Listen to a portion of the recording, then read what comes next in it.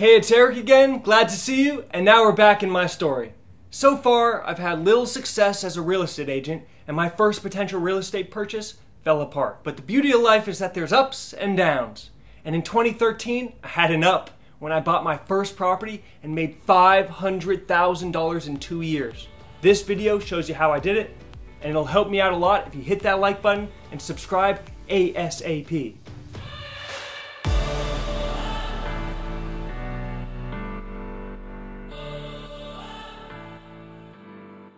My last story video ended with my first potential deal not happening. The lender fell through, and I was forced to go back to the drawing board searching for a new property. But it's amazing how quickly it changed because I found an amazing real estate deal way better than the first. The secret to getting a great deal in Los Angeles is having access to the MLS.com.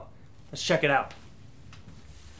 Here it is. This is the most common marketplace where real estate agents post their listings. It's where I've made $3.5 million by just paying $400 a year in membership fees. The key is having a custom search. That search should show the previous day listings up until the current moment that you're searching. That way, every day when you search, you're not missing anything. My territory was about 33 zip codes, around a 20 minute driving perimeter from where I worked. There are over 500 properties for sale in these zip codes at a given time. That's an overwhelming number of deals to consider, but usually they're not worth your time to consider buying.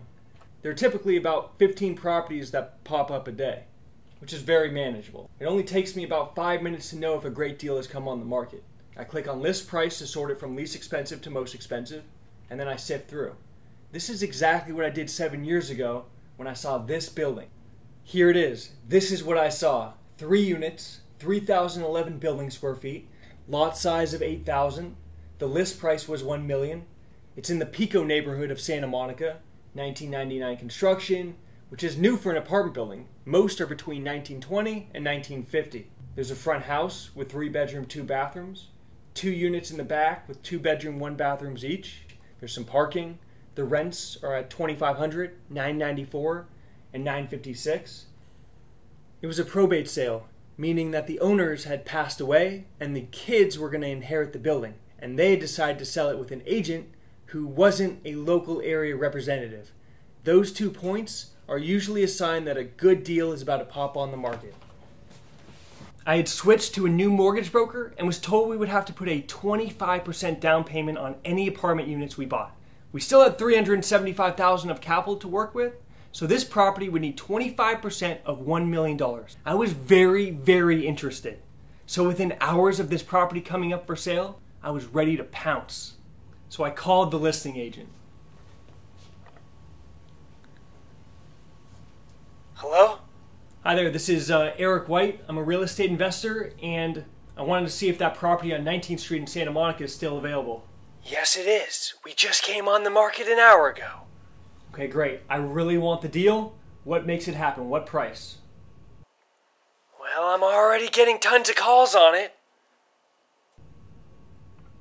Okay, well, how about this? You represent me on both sides, you'll get all the commission, and I will close on this deal smoothly. Can we make that happen? That would be great. But I want this thing done by the end of the day. I don't want to wait any longer. I'll do my best.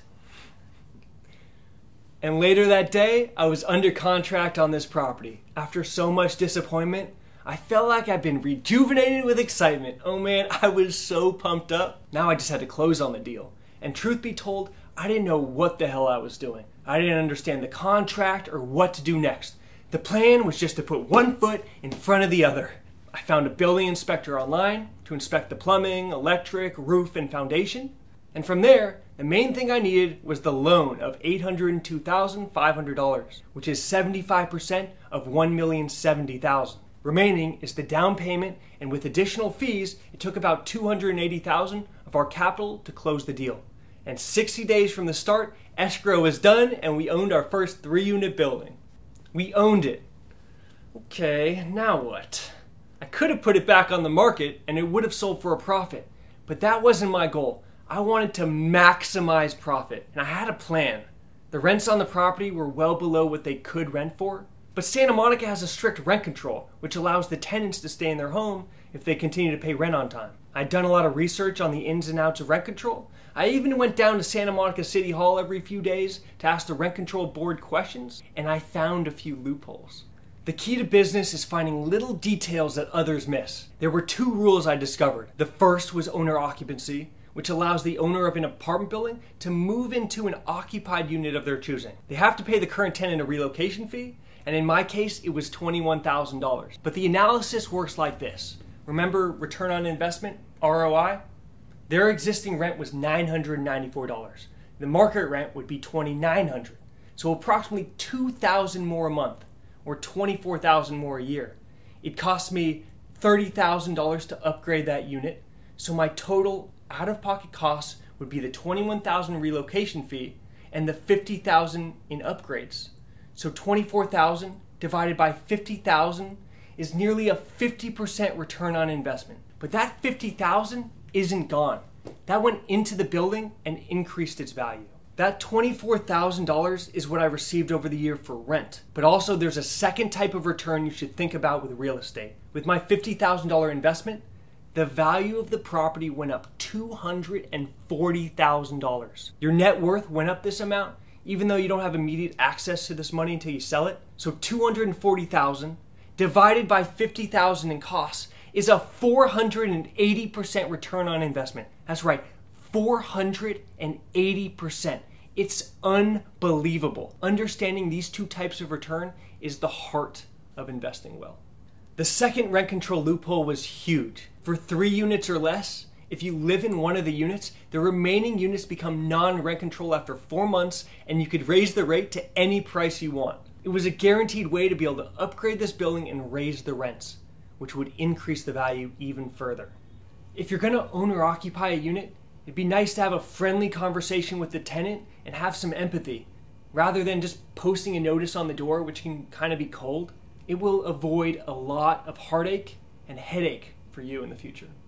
I hired a contractor to help upgrade the interior of the two units, as well as re-landscape the outside of the structures. The bid was 70,000 to do the work. One of the workers on the first day dropped a mirror and cut his wrist open. That's what insurance is for. $110,000 and an ambulance later, the work was complete. The remodel cost 40,000 more than the original bid. This is the case for every single renovation I've ever done. Usually you run about 50 to 100% over budget.